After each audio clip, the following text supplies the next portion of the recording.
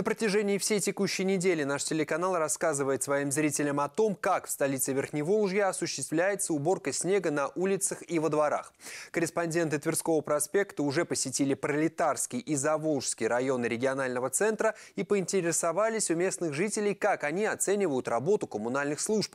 На очереди Центральный и Московский районы.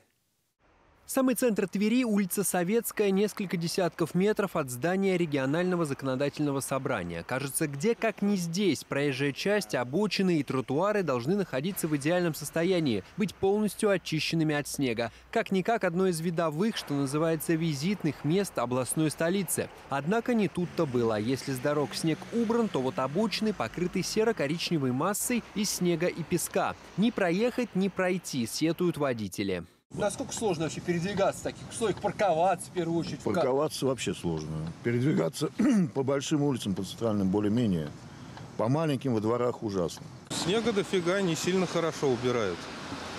Так припарковаться вообще, дороги узкие очень. Перекрывается снег, а парковаться неудобно.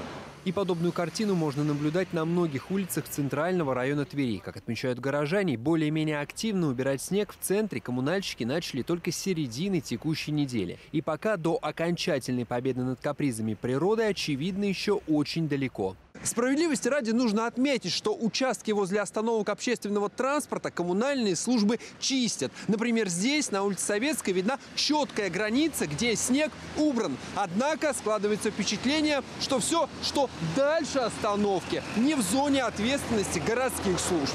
Возможно, активизироваться в борьбе со стихией коммунальщикам помогут надзорные органы. Так, с начала этой недели регулярные рейды по всем районам областной столицы проводят сотрудники прокуратуры и представители ГИБДД. За некачественное содержание городских улиц виновным могут грозить солидные денежные штрафы, и первые финансовые санкции уже назначены. Причем как в отношении МУБЖЭК, так и в отношении Департамента дорожного хозяйства, благоустройства и транспорта администрации Твери.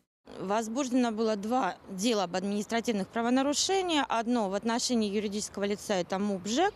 Оно рассмотрено, назначено наказание в виде штрафа в размере 100 тысяч рублей. Также рассмотрено, возбуждено прокурором дело об административном правонарушении в отношении Департамента дорожного хозяйства и благоустройства администрации города Твери.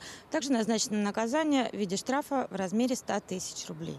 Недовольны представители прокуратуры и тем, как коммунальщики убирают снег в московском районе города. Наша съемочная группа в эту пятницу побывала и там. Ситуация схожа с той, которую можно наблюдать в других районах регионального центра. Огромные сугробы на обочинах, снежная каша на парковках, лед во дворах. Вот у нас там вот эту дорожку посыпает песком, а здесь нет. Вот этот 71 не посыпает. Идешь, еле идешь. Того гляди, упадешь. Нигде не чистится. Я живу в Можайском, да там Южном, тоже нигде не чистится. Как работу коммунальных служб оцениваете? Отрицательно. Еще основные дороги чистят, тротуары нигде не чистятся у нас. Дворы не чищенные, я работаю на машине, очень сложно передвигаться по дворам. Скользко, гололед под этой кашей, голый лед. Ничем не обрабатываются дворы, ничем не посыпаются и не убирается снег. Это очень тяжело. И это не первый двор, где такое безобразие. Во всем городе так.